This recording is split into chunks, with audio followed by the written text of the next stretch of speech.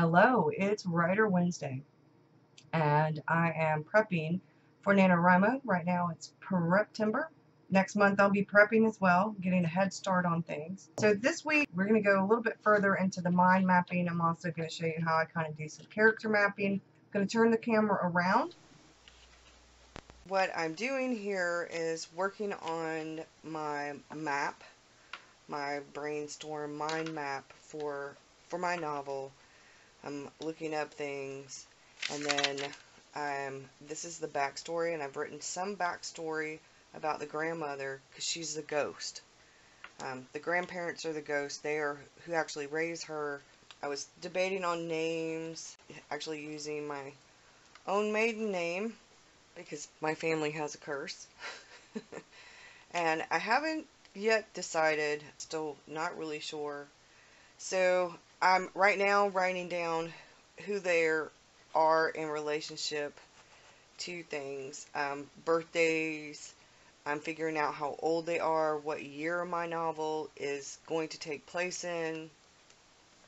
And then as I fill out these, and I have more of these, and I have other post-it notes, I will put those here, kind of like you do in Scrivener's corkboard, until I get everything laid out.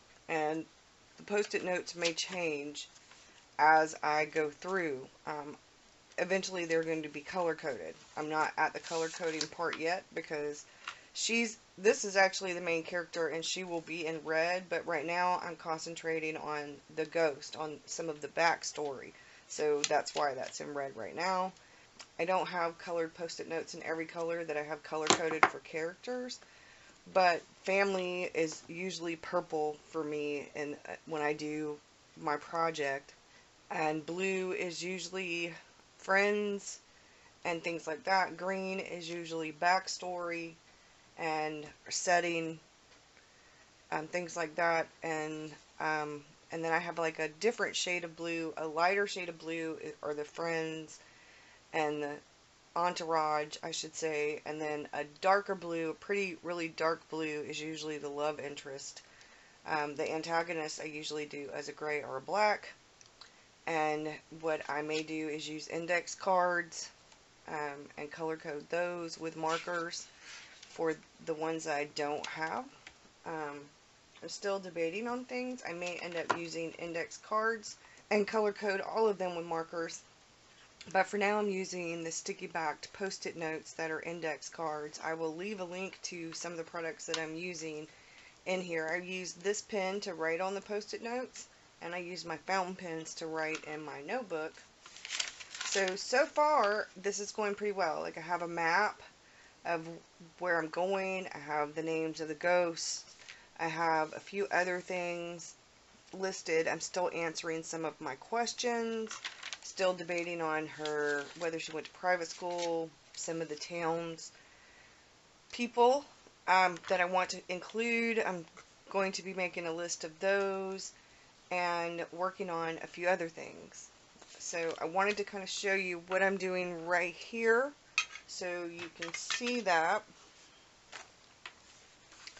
And then this is where I'm going to be writing some of the information for the novel. I need to write some stuff down in here first. Like I said, I'm getting towards all of this. I really like how it's turning out so far. And I'm doing the planning so I can get all of that done. Because as we get further and further into the end of this month and next month, I'm going to be doing a lot more hardcore planning. People asked about tarot cards the next video, I'm going to pull some tarot cards for characters. That's not really what I have scheduled, but I'm going to do that so that I can get further into what my characters are and information about them. But for now, I kind of wanted to show you, if you do something with post-it notes and you write down notes before you actually put it in your Scrivener project or in your notebook, for me, it doesn't matter so much in the Scrivener project because I can, you know, copy and paste and stuff like that there. I can change things up. But when I'm doing it this way, I like to have, before I even put stuff in the Scrivener project, I like to have a good idea of where I'm going with things. I can layer post-it notes. I can spread them out in a bigger spread. Right now I'm trying to figure out backstory. So once I've got backstory for the main characters, I will move post-it notes or redo post-it notes, put them in. I may use the smaller version, put them in here and layer them until I get how I want the main characters and how they interact with each other. And then that way I have a pretty clear understanding. I've been doing the Pinterest board so far for South Carolina stuff. I haven't really done very much with characters on there yet because I'm getting ideas. I'm still formulating things. Like, I don't know what color her hair is yet.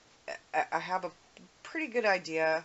I have a really good idea of what the grandmother looks like, but I haven't written anything down yet. I'm going to treat the characters when I do these post-it notes I'm going to treat the setting as a character, sort of, um, because it's going to play a big role. Like, there are different pieces in the setting, like a certain house that is going to be more prominent than other places. I'm going to do a, a setting page, and I will continue to show you things. I'm also going to pull some tarot cards, and I'm going to pull out and then I'm going to write information on the post-it notes and I will continue to do post-it notes as, as characters develop because I need to pull some character cards so that I can get ideas for other characters because I have a love interest I don't know anything about yet so I'm going to do that. I'm going to pull archetype cards and then I'm going to pull tarot cards to get more information and that will be helpful and I am going to continue like I said to do my map here. You know, I have some pretty good ideas of, of what I want to do. I'm not quite sure about like some things, but I'm pretty sure about other things, which is why I'm doing this ahead of time and why I think it's so important for me to get this done now rather than wait. Somebody asked me about writing books, what I recommend anything other than Stephen King's on writing. And to be honest, it really depends on what you are interested in. I use Tarot for Writers, Astrology for Writers, Writer's Guide to Character Traits, the Emotional Thesaurus. I use a really old version of the Scribner Handbook for Writers. I also like the Writer's Compass. Know, Save the Cat, Plot Perfect was okay. How to Write Killer Fiction was pretty decent. Writing Down the Bones was really good, but it's more like Stephen King's on writing. It's more biographical or autobiographical, I should say. Planning Your Novel by Hardy was okay. The Marshall Plan is pretty good for some people. First Draft in 30 Days was pretty good. And there are quite a few others. I will make a list of the books that I, I thought were pretty good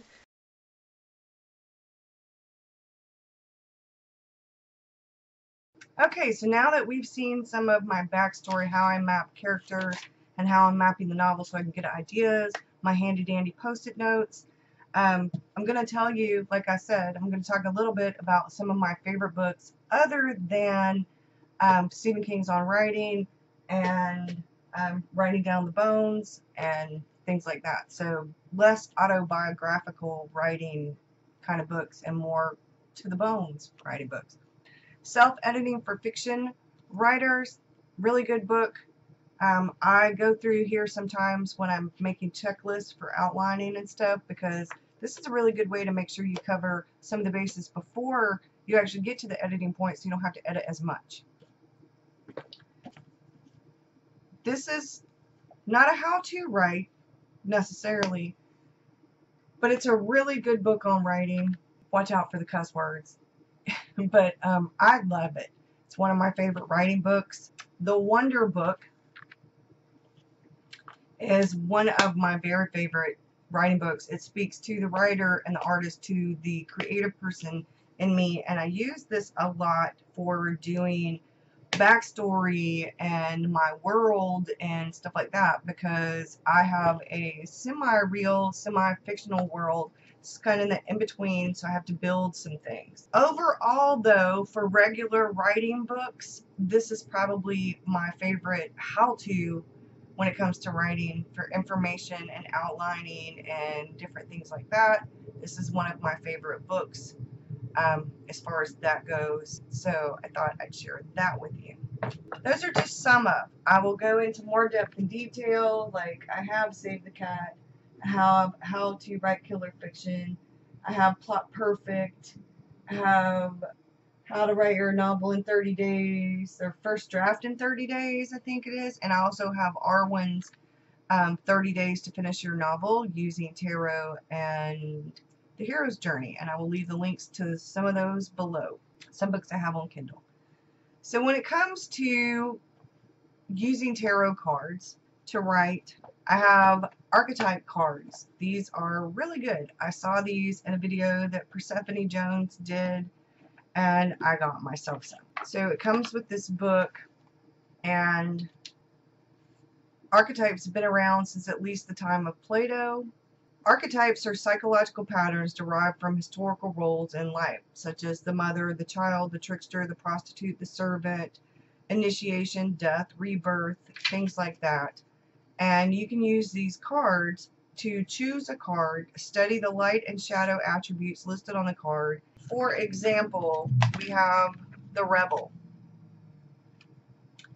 Um, the rebel's light attributes are challenges authority to effect social change, rejects spiritual systems that do not serve inner needs.